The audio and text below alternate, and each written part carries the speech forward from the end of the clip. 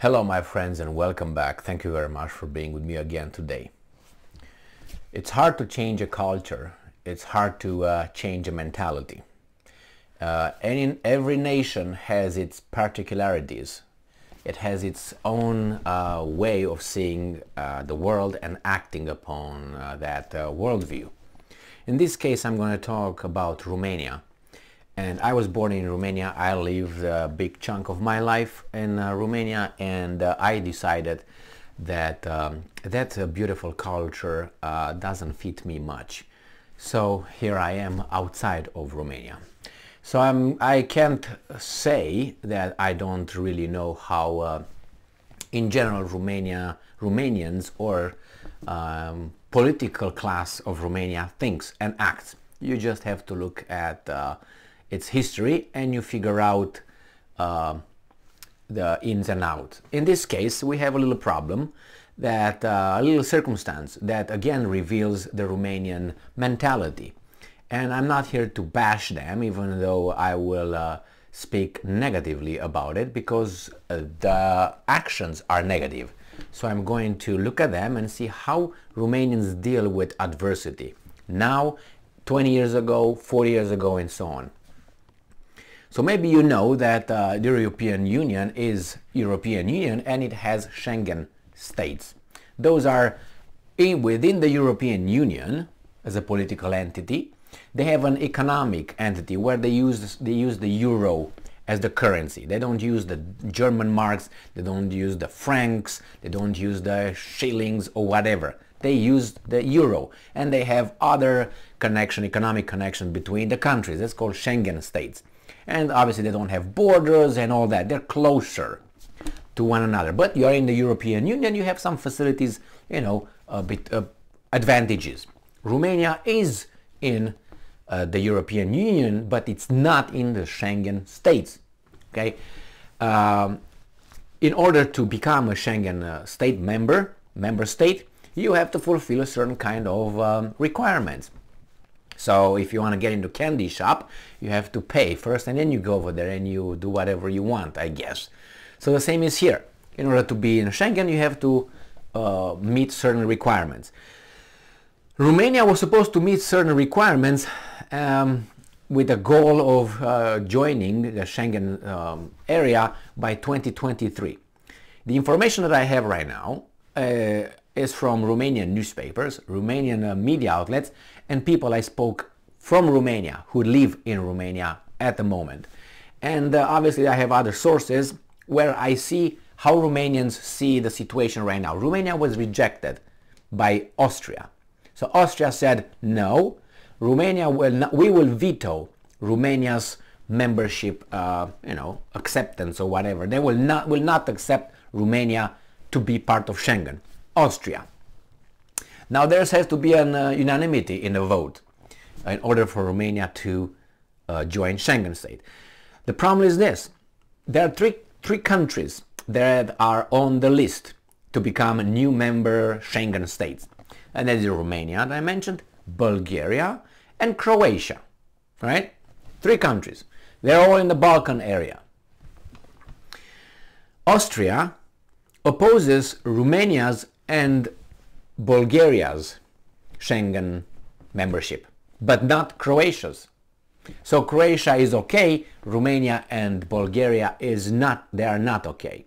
And you say, well, well, what happened? Well, the, the, the um, how should I put it? The uh, obvious question will be, what did you do, Romania? Or what didn't you do? Well, Romanians think that they did everything okay and they deserve to get in. Well, I don't know if they did everything they need because about uh, a week ago or two weeks ago, the European Union said, yes, Romania, you met the requirements. You met the requirements of, um, you know, um, how do you call that, uh, corruption, and you fought corruption, then you check mark things. Romania says, well, we deserve to get in. So let us in. You depend on others to de determine your fate. That's a Romanian characteristic, seems like. Um, so Austria said, no, for our safety, for our security, and with immigration, we can't uh, vote for Romania and Bulgaria. Now Romanians are huffing and puffing. Oh my God, again, the Austrians. And they give us or gave uh, the Romanians all kinds of justifications that I read in the newspapers and people told me what they listened to the um, television telling them. So this is how the story goes. Austria doesn't like Romanian, that Austrians don't like Romanians. That's how uh, uh, this is the, the, thing. That they are, you know, uh, xenophobic. That's the first thing. All right, might be, might not be. Anyway, we know, we, the Romanians, know by their statements, the Western countries, they look down on the Eastern European countries and the Balkan states as a kind of like semi-civilized, uh, uh, you know, knuckle draggers, you know, or ball, ball rollers, something like that. Uh, we understand that and uh, sometimes for good reason because uh, our of our behavior, our, I'm going to put myself in that because I've been born over there and been over there, but our uh, behavior. But they're not angels either, okay? So uh, that's another thing that they, they don't see, they fail to see. But let's go to, to this issue. So Romania says, well, because Austrians are as they are. And then they say, well, because Austrians like to go on the Adriatic Sea in Croatia to spend their summer, you know, to swim and go over there. But not to Romania. So that, is why they want that. Well, could be. But do you think that's the main thing? Now, do you think it's just because uh, it's a beautiful Adriatic Sea over there and the sands and the beaches? Romania has beautiful, uh, uh, used to, well, at least I knew they had. I don't know if they're still over there. Maybe it's the treatment they receive over there. Maybe there's the amenities. Maybe it's the, I don't know, the services, as I said. Anyway, they, they don't want Romanians. The Romanians are again begging, this is what I don't like about Romanians, begging, you know, to be accepted. This is an attitude that Romanians don't have, or most Romanians that I they don't have. You know what? I'm gonna do it myself, and I don't give a fuck about you. I'm gonna do whatever is good for me, and I'm gonna I'm not gonna wait for you to accept me anywhere. I have to become strong and independent in that in, in that position when it's gonna be I who will determine your fate, not you determining my fate. But Romanians are, oh, you know what? And I'm to give you an analogy, like a lady of the night, or a prostitute, or a whore. That's the way they are, paid ones. They say, okay, we, I want money, and he wants sex. All right, well, hey, are we to do it? Oh yeah, we're to do it. How much? Yeah, I'm to pay you this. Okay, but I'm to pay you at the end. All right. So the lady of the night gets anything, any abuse the customer would like. All right. So after the whole thing, she's all wasted and she did everything possible to be his, uh, you know, whore. And at the end, he's not paying. Now, this is where Romania is. Romania is in that position where she needs money. So she needs someone else because they can't make it. They, cho- they choose to be as they are, beggars instead of having a strong country, strong economy, independent economy, and do not need Schengen. Why do you need Schengen? Because you're impotent. That's what it is. So then you allow Austria, a country of what? I don't even know if it's like 9 or 10 million people, I think it is, Austria. Small country that dictates a lot of shit, okay? Tell Romania, uh, we used to be 24 million, now it's like 17 because a lot of people uh, did like I did.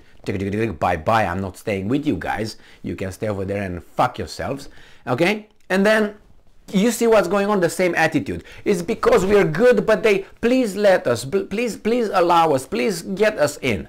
That mentality of a slave now let me tell you how how things work in in real life do you think someone knocks at your door and say hey emil Cosman you want to be the ceo or you want to be member of this important group um, let me see. No, it doesn't work that way. You will be invited to join a group if they see that you deserve or you have something that they can benefit out of. You have a quality, right? You don't have to be only uh, 17 million of slaves working for them or uh, allowing your country to, to be plundered by their companies. That's not enough. That's not enough. Even if you work the whole night, as that, uh, that lady of the night that I told you, even if you worked hard, hard, hard. You know, they will just do it and not pay you. So you have to respect yourself in the first place. You have to be better, stronger, and then they will come and beg you to join. You don't have to beg to be accepted in. But this is the mentality since 1989 after the Ceausescu's dictatorship was uh, helped to, go, to be gone, which was a good thing. All right? And after that, oh, everybody was shush. Everybody, Europe is coming. This was the word. I hated it. I hated. Hey, we, we have to get back into Europe. Get back into Europe? Like, where are you now? On the moon or something? This was the mentality was television was telling me and everybody else and the politicians. Like, hey, be a nice whore wash your little things and get uh, ready whenever the European weasels come over to fuck you hard and go and be okay with that.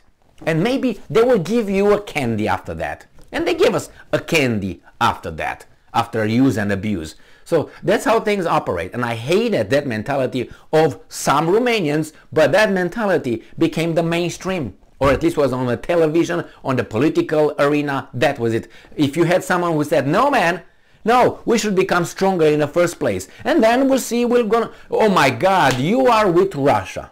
Immediately, or you are a communist, or you are an extremist. These were the words, like here.